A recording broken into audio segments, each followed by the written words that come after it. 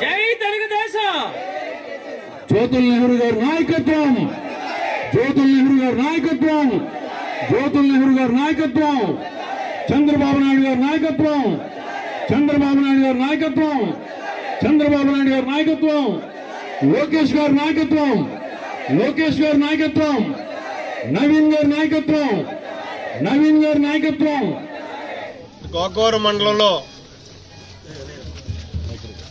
తెలుగుదేశం పార్టీకి మంచి బలం చేకూరింది. ఏదైతే సంజీవనగర్ ప్రత్యేకత ఉన్నటువంటి ప్రాంతం ఇది. ఇప్పుడు కూడా తెలుగుదేశంకి కొంత ఇబ్బందికర పరిస్థితులు ఉండేవి ఇక్కడ.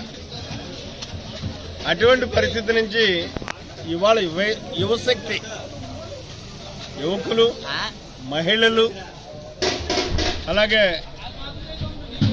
పెద్దలు కూడా వైఎస్ఆర్ కాంగ్రెస్ పార్టీకి రాజీనామా చేసి మరి మా తెలుగుదేశం పార్టీలో చేరడం చాలా సంతోషదాయకమైనటువంటి విషయం. దాని నిమిత్తమే ఇక్కడికి రావడం జరిగింది ఇవాళ. మరి ఇలా పార్టీ మరింత బలోపేతం చేసుకుంటూ ముందుకెళ్ళేటటువంటి కార్యక్రమం మా భవిష్యత్తులో తీసుకుని ముందుకెళ్తాం.